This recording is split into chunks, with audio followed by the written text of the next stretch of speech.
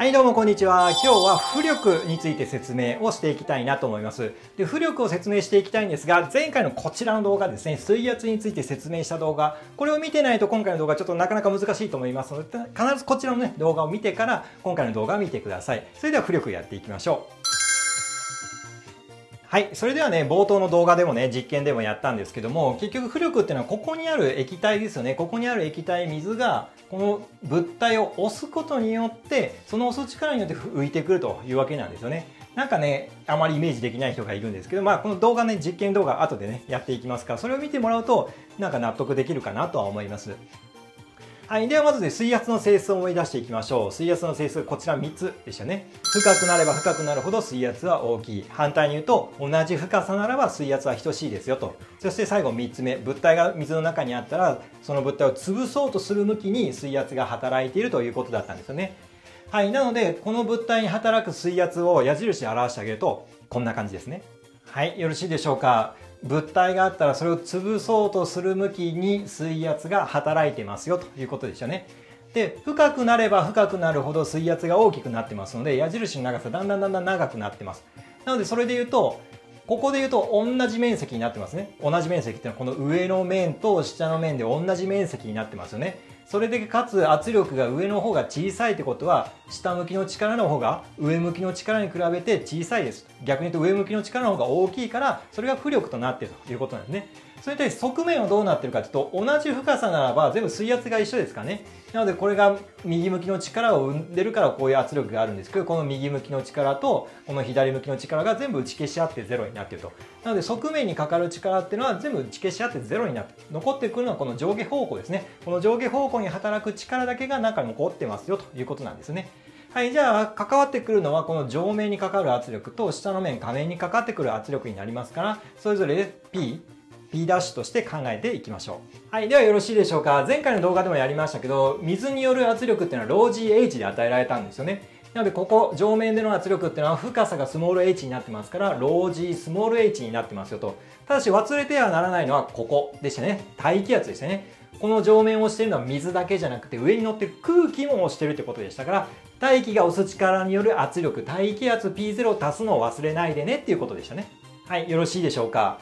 で、下の面も一緒ですね。下の面は深さラージ H になってますから、ロージーラージ H プラス、もちろんこういう大気ですね。大気が上に乗ってるっていうとこもあるんですね。ここをね、なかなか考えづらいっていう人がいるんですけど、これ同じ深さならば水圧が等しいってことを考えてますから、この同じ深さのところのここですね。ここにかかる圧力で考えてあげると、これ水が乗ってるよねと。で、大気が乗ってるよね。じゃあここにかかってる圧力っていうのはこの式で表せますよねっていうのは分かりますよね。で、同じ深さならば、水圧っていうのは等しくなってますか？ら、ここにかかってる水圧と、ここにかかってる水圧っていうのは同じ値になってますかね？まあ、そうやって考えてくれたらいけるかなと思います。はい、じゃあここから浮力を計算していきたいんですけど、圧力と力っていうのは別物でしたよね。浮力は力。圧力は圧力。別物でしたね。力と圧力っていうのは別物でした。具体的に言うと、力を面積で割ったものが圧力でしたよね。なので、力を求めたいんだったら圧力に面積をかけてあげたら良いということでしたね。はい、じゃあ圧力から力に直していきましょう。はい、じゃああと計算だけですね。圧力が力を面積で割ったものでしたから P イコール S 分の F でしたね。圧力の定義から考えてあげても分かりましたね。圧力の定義はこちらでした。大面積あたりの力でしたね。なので力を面積で割ったものでした。なので力 F を求めたかったら両辺に S かけてあげたらいいですから F イコール PS ですね。なので、上面にかかっている力、スモール f、ちょっと作用点めちゃくちゃになってますけどね、スモール f っていうのは P× 断面積 SS。この物体の断面積を S と今してますからね。なので PS。なので、ロー GH 足す大気圧 P0 かけることの S ですね。はい、下の面にかかっている力、ラージ F っていうのはどうなってるかというと、圧力が P' で面積が S になってますから、同じく P'S で出せると。まあ、この形になってますよと。で、求めていきたいのは浮力でしたね。なので、上向きの力だけが浮力になってるわけでではなくて、下向きの力があってね、ちょっとこれを打ち消し合ってるわけですかね、一部がね。なので、上向きの合力が浮力になってます。残った力が浮力になってるということですね。なので F- 引くスモール f を計算してあげると、この P0S のところは消えますよね。残ってくるのはロー G ラージ H とロー G スモール h のところ。ロー G は共通因数、S も共通因数ですからくくってあげると、ロー G、カッコ H- 引くスモール HS ですよね。で、この H- スモール h っていうのはこの物体の高さになってるんですね。 で高さかけるこれ S っていうのは結局何かっていうとこれ体積を表してるんですよねはいよろしいでしょうかなので浮力の大きさっていうのは V を使って物体の体積 V を使ってあげると ρVg で表せるということなんですねこれで浮力の証明が終わりましたなので浮力は ρVg 水圧は ρgh 公式が2つあるんですけどねその2つをちょっとしっかりと覚えてもらわなきゃいけないということなんですで浮力別の覚え方がありますからちょっとそれを紹介したいなと思います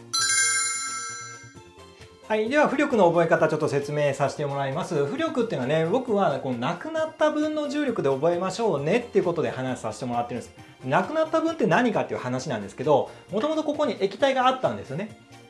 これが物体が入ってくることによって、この液体が、ここにあった液体がなくなったんです。じゃあ、なくなった液体の体積っていくらですか？この物体の体積 V に等しいですよね。この V ってのはそもそもそうですよね。なくなった液体の体積に等しいですね。物体の体積なんだけども。じゃあ、ローって何ですか？ローってのはこれ物体の密度ではないんですよね。液体の密度なんですよね。なので、液体の密度かけるなくなった分の液体の体積、密度かける体積ですか、これ質量になってるわけですね。なので、これ、ロー V ってのは何かっていうと、なくなった液体の質量を表してるんです。で、質量 M でしたね。それに G かけたら重力になってますよね。だからこれってのはなくなった液体分の重力ですよ、ということなんですね。よろしいでしょうか？はい。では、この覚え方が一体どういったところに使えるかっていうのをちょっと説明したいんですけど、例えば密度ローダッシュの液体があって、その中に物体が浮かんでるんですね。その物体の密度がローですよということなんです。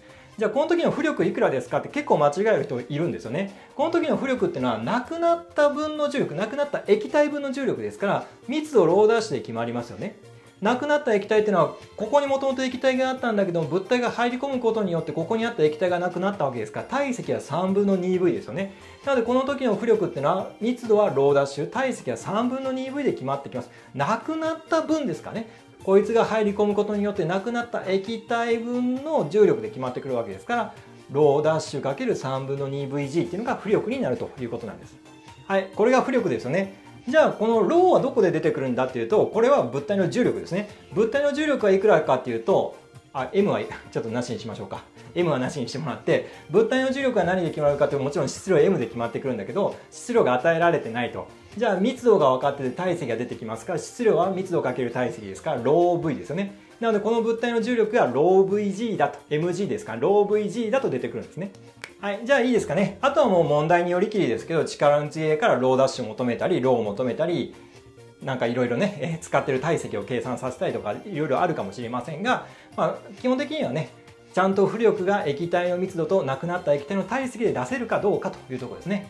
で、あとよくある間違いとして、水圧と浮力っていうのをよく混合しちゃう人がいるんですよね。はい。では、2つ式で書いてみたんですけど、よく考えてほしいんですけど、水圧っていうのは深くなれば深くなるほど大きくなったんですよね。なので、深さ H に比例するものが水圧でしたね。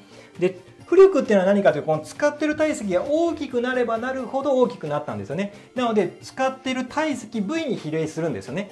なので、明らか当たり前なんですよ。深さに比例するのが水圧、そして体積、使ってる体積に比例するのが浮力ですかね、実験でやったらすぐわかることですから、まあ、これを混同しないようにね、ちょっと注意をしてほしいなと思います。では最後ね、実験で確認していきましょう。最初にも言いましたが、ここの水圧がね、上に押してるんだってことがね、イメージできない。ここの水がこの物体を上に押してるというのがイメージできないという人がいるんですけど、こちらの動画で、実験動画で確認していきましょう。はい、今回は浮力の実験です。浮力というのはピン球の下にある水がピン球を上向きに押すことで発生した力のことを言います。今回はピン球の下に水が溜まっていないので浮力が発生しません。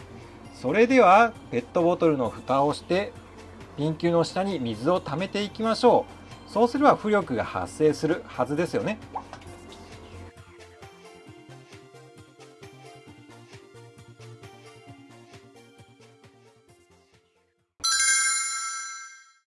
浮力についての説明はこれで終わりになります。実験分かりやすかったでしょうか？分かりやすかったという人はぜひ高評価、いいねとチャンネル登録よろしくお願いします。それでは最後まで聴いていただいてありがとうございました。